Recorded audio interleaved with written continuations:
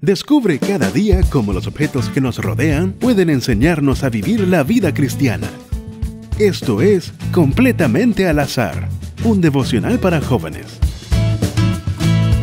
Hola amigos, hoy quiero hablarles de El cabezal de la ducha.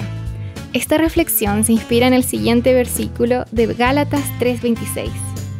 Así, todos ustedes son hijos de Dios por la fe en Cristo Jesús. La encantadora casa de campo de mi abuelita tiene muchos recuerdos alegres para mí, desde frascos llenos de galletitas hasta álbumes llenos de fotos de mi mamá de bebé con mejillas regordetas.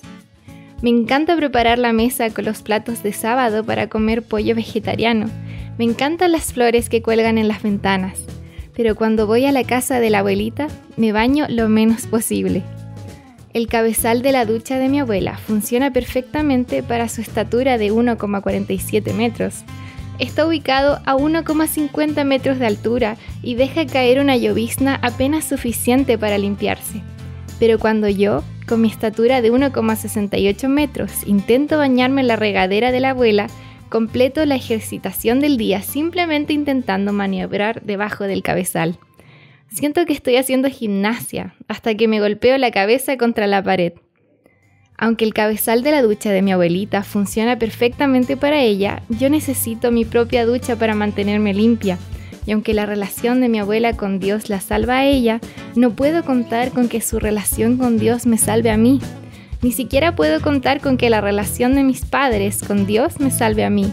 Necesito mi propia relación con Dios para que Él me salve tus padres son hijos de Dios, pero eso no te hace nieto de Dios. Dios no tiene nietos. En cambio, todos ustedes son hijos de Dios por la fe en Cristo Jesús. Todos podemos tener una relación directa con Él y todos necesitamos esa conexión.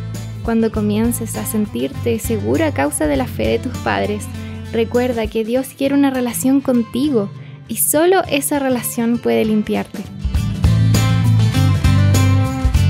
Escuchaste en Radio Nuevo Tiempo Completamente al Azar, un devocional para jóvenes en la voz de la psicóloga Michelle Charrier.